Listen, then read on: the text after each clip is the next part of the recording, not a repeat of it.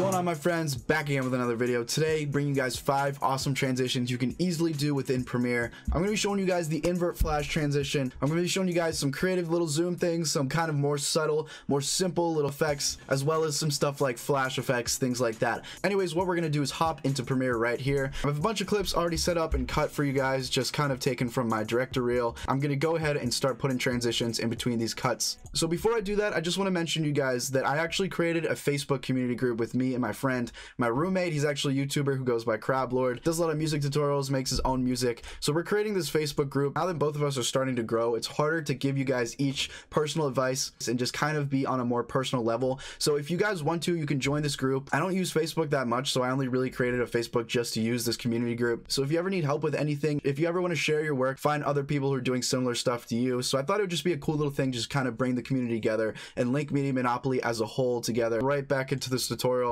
First one I'm going to show you is the invert flash. So I'm actually going to use a different clip because this already has an invert on it. I'm going to hold down shift and just maybe click over um, one time. I'm going to click here and I'm going to click control K just to make a cut. Hold down shift, right arrow key once to go to the middle and then right arrow key again to go to the right. So we're just moving over five frames to the left and then going back to the middle and then moving over five frames to the right. And then we're going to make a cut there. So control K right there. So we have these two little clips cut together and we have a cut in the middle. So here's how we're going to create that kind of inverting flash. So I showed you in one of my other videos and in that video I also gave away free presets. One of the presets included in this pack is actually this awesome invert effect that I created. So I'm going to show you that real quick. And this is how you get the alpha invert that doesn't actually come in the default Premiere. So I'll place this preset right here. And like I said, this is free on the website. If you go to Lumetri Colors, you can just change the exposure just to kind of make that better. And you're going to see this is the invert that I created just through presets that you can really only get through plugins. So I'll show you. So I'll just remove this real quick. And let me just show you, this is the normal invert effect that you can get just through Premiere. As you can see, you have RGB, red, HLS, bunch of different stuff like that. Go ahead and download that free preset.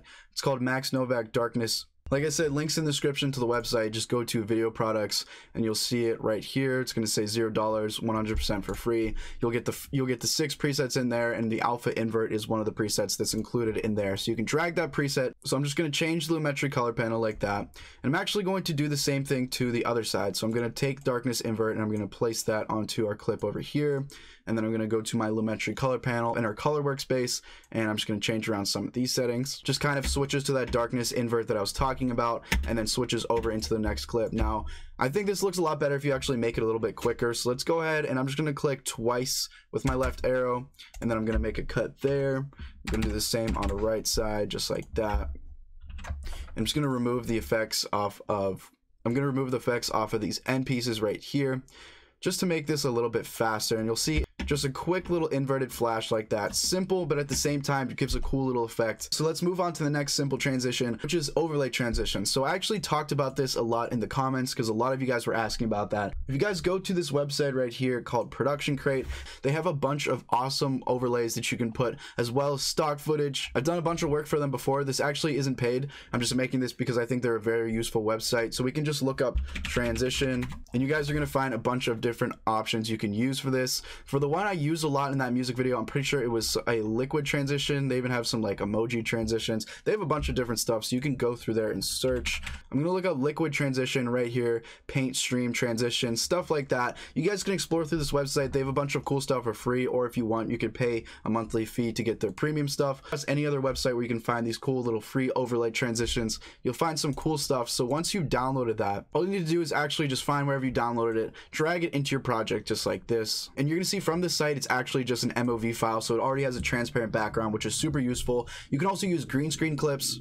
So for example, if you just look up green screen transition on YouTube, you'll find a bunch of cool ones. You can just download those, throw them into Premiere just like I did here, except the only difference is to get rid of that green background. You would just have to look up a quick little ultra key effect. And I also have an entire green screen pack for free on my website if you're interested in that. This one was pretty self-explanatory. All you need to do is just find wherever the transition takes place and then just position that wherever you'd like as well as go ahead and rescale it however you'd like. You can apply any effects onto this. So from my so from my effects pack 1.0, I'm gonna apply a trippy hue cycle and we'll see this cool little awesome effect like that. All optional. I'm just showing you some cool stuff you can do. Just kind of manipulate the overlay. That's pretty self-explanatory. You can go ahead and find a bunch of different stuff with that. I'm gonna move on to the next super easy and creative transition. Okay guys, so next up I wanna talk about some transition presets, whether it's Zoom stuff or other cool stuff which you can find online. I have some stuff on my website. There's a bunch of other people, YouTubers that create presets like that. I'm just gonna show you what you can really do with some of these. So I'm just gonna place my little selector over the cut in between these two clips.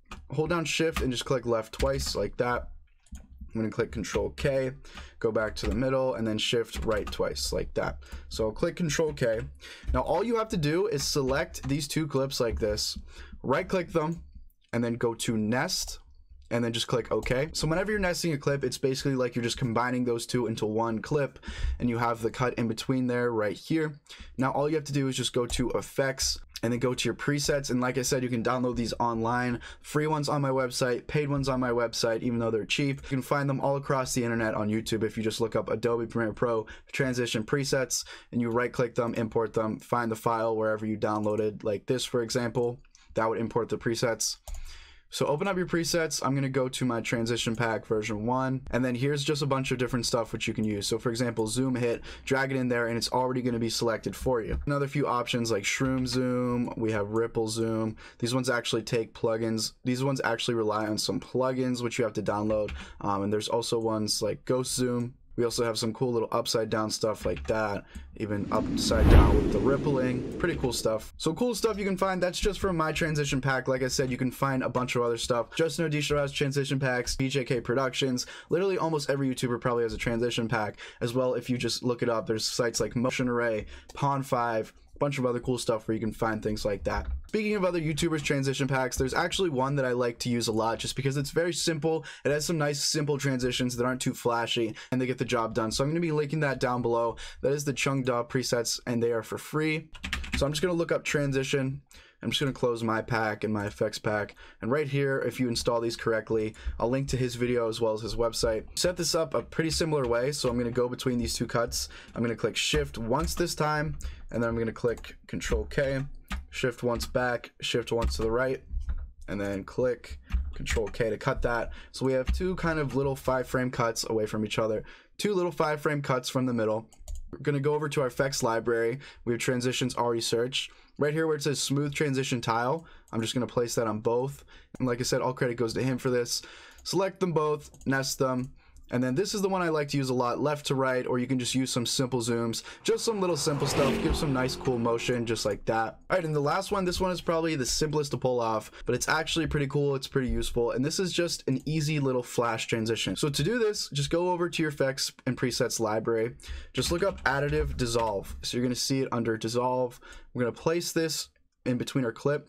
So make sure you're placing it so that it's selecting both the clips like this, not like that, or like that. So in between them. So this is what it looks like normally. It's just going to kind of brighten up and then just dissolve into the next one. To get it to really flash, just take the edge of this of this and you're going to see it's just going to be a quick little flash into the next scene. Super simple, easy transition. You can literally do this within 10 seconds. Very basic. So the five lists that I selected is kind of a range from more advanced, intermediate, basic. So you guys can choose from that, create some awesome stuff. Transitions are pretty key to a lot of videos. Anyways, guys, thank you so much for watching. Like I said, check out the Facebook community group down below if you guys want to share your work. Check out some new creators or even if you just need some help with something that I can't directly help you with, I'll be posting a lot in there as well as Crabblord will be posting a lot in there. So you guys will have a better chance of just being able to interact with us throughout the comment sections and stuff. Check out the website links, check out all the preset stuff that I mentioned down below. Anyways, guys, thank you so much for watching. Leave a like, comment, subscribe if you guys enjoy, and I'll see you guys later.